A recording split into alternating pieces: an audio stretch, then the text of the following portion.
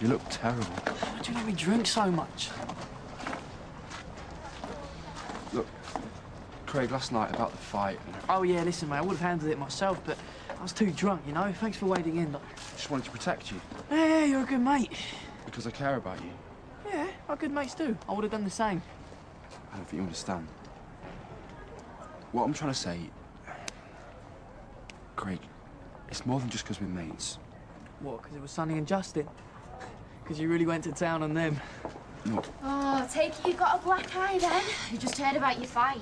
No black eye, just a hangover. Boozing and fighting, that your idea of a boys' night out, eh? we didn't start it, all right? Yeah, but we finished it. Hey, you okay? Yeah, Oh, what's that for? no reason. Just felt like it. Yeah, right, and, and then, and then, and then what happened was... What happened next? Oh, oh, I'll tell you what happened, right? Me and Justin start fighting for some reason, yeah, and, and he must have caught me off guard or something, because I ended up on the floor. Yeah, because you were blind drunk. No, listen to me, right? And then, and then John Paul comes out of the blue, and then picks Justin up just as he's about to hit me, and throws him on the ground. You didn't. Yeah, Sonny and Justin just bottled it and ran off, didn't they?